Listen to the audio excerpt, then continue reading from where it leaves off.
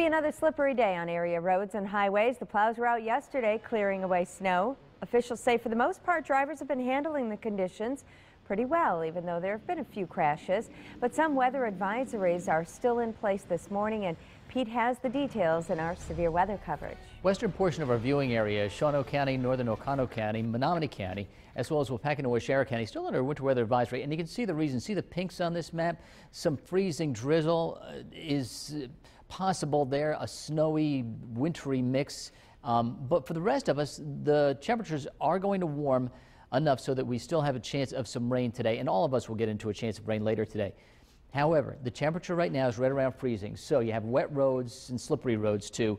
The temperatures will rise to around 42 today, but drizzle and freezing drizzle this morning in areas of fog as well. It's warming up today to the lower 40s, so we have a chance of rain showers later today. Enjoy that though, because it's going to turn bitterly cold as we go into the weekend, Friday and Saturday in the low teens. So this is the area under winter weather advisory, and that's in effect until 9 o'clock this morning. The grays on this map, a dense fog advisory, and that's in effect Lac, Sheboygan, and Green Lake County until until noon today, and the visibilities are down to about a half mile in Fond du Lac, about a quarter mile in Appleton. No matter where you go in northeast Wisconsin, there is a possibility of some uh, dense fog. 34 in Green Bay, 34 in Appleton and Oshkosh. So we are rising a bit.